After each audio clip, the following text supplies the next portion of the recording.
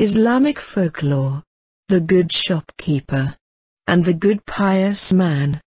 There lived a good pious man all by himself, who spent most of his time in praying, fasting and praising Allah Ta'ala, the creator of earth and heaven. Almost all his waking hours were utilized in meditation and devotions.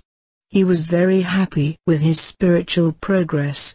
No wicked thoughts came to his mind and no evil temptations entered his heart. One night, he dreamt a rather disturbing dream. He saw that a shopkeeper in the town was far superior to him in spirituality and that he must go to him to learn the basics of true spiritual life and faith. In the morning, the pious man went in search of the good shopkeeper. He found him busy with his customers, selling goods and collecting money with a cheerful face. He sat there in a corner of the shop and watched the shopkeeper carefully. No signs of any spiritual life at all, he said to himself. His dream could not be true. But then he saw the shopkeeper disappear to pray his salah. When he returned, he was busy dealing with money matters again. The shopkeeper noticed the pious man sitting in the corner and asked, Assalamu alaikum, would you like something, brother? Walaikum assalam. Oh. No, no, said the good pious man. I don't want to buy anything, but I want to ask you a question. He then related his dream.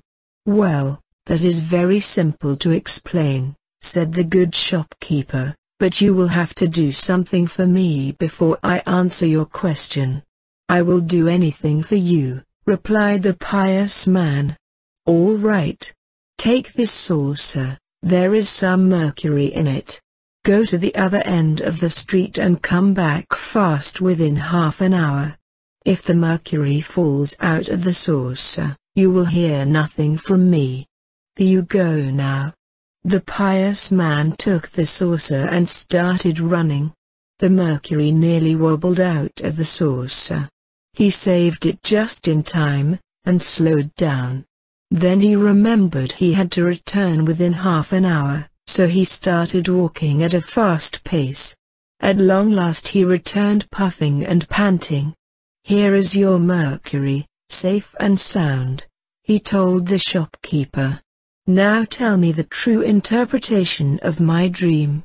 The shopkeeper looked at the pious man's weary condition and asked him, Well, friend, how many times did you remember Allah while you were going from this end of the street to the other? Remember Allah! exclaimed the pious man. I did not remember him at all. I was so worried about the mercury in the saucer. But I do remember him all the time, said the shopkeeper. When I am doing my business, I am also carrying mercury in a saucer. I am fair, honest and kind to my customers. I never forget Allah Ta'ala in my dealings with other men. Men whom neither trade nor sale, business, diverts from the remembrance of Allah, with heart and tongue, nor from performing as salah, ikamat, as salah, nor from giving the zakah, charity. They fear a day when hearts and eyes will be overturned, out of the horror of the torment of the day of resurrection. That Allah may reward them according to the best of their deeds, and add even more for them out of His grace. And Allah provides without measure to whom He wills, the Holy Quran Surah An-Nur verse 37-38.